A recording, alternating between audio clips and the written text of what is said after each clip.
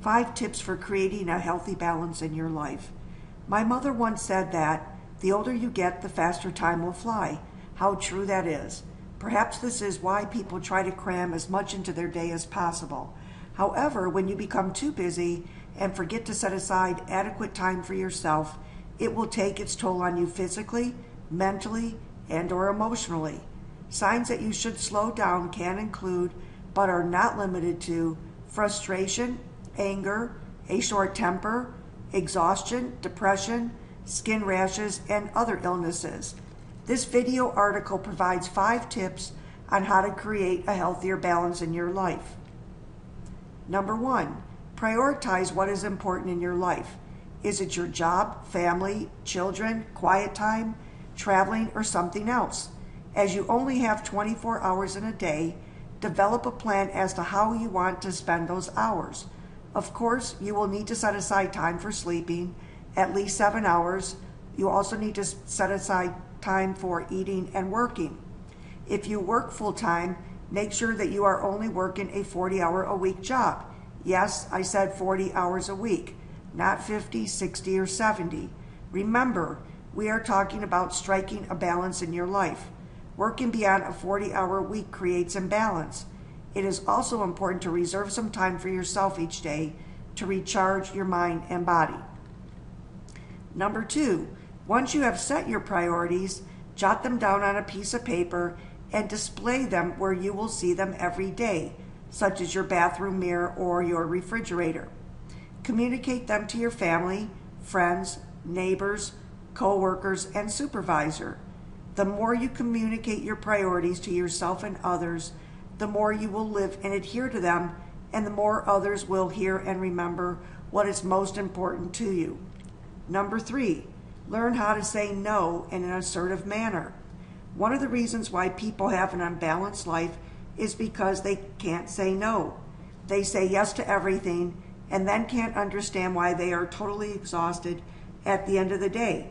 So if something doesn't fit into the priorities you have set, Learn how to say no without offending anyone.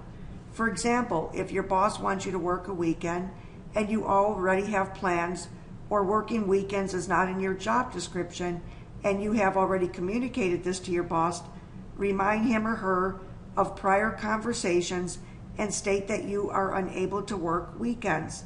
There will be times when you have to use what I call the broken record approach and repeat saying no as some people do believe you'll change your mind if they keep reiterating their request. So continue to say no. Number four, monitor your progress at least once a day so you don't go back to old routines or behaviors. Initially, implementing the changes needed to balance your life may be difficult.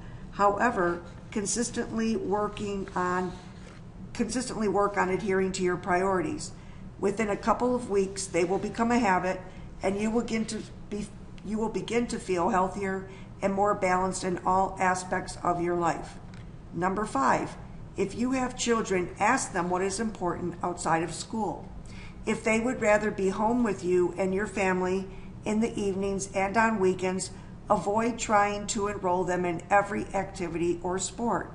If your children do want to take a dance class, pick up an instrument, or play in a specific sport, then consider limiting the number of activities or sports in which they are involved. If you are carting your children to and from activities and events every night, you will not have the balance you desire. Plus, wouldn't you rather spend more t- quality time with your children? By setting your priorities, reviewing them daily, learning how to say no, and monitoring your progress to make sure that you don't slip into old habits or routines, you will begin to attain the balance in life that you desire. You will also begin to see that you're more relaxed and mentally alert, that you have more energy and feel better, and that you have more time for yourself and those you love. All of this will result in a more balanced and thus happier life. I am an executive and life coach and nonprofit consultant.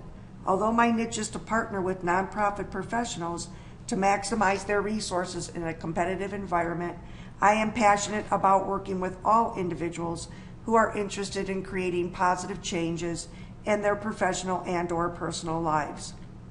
Here's my contact information. Again, my name is Sharon Mikrit.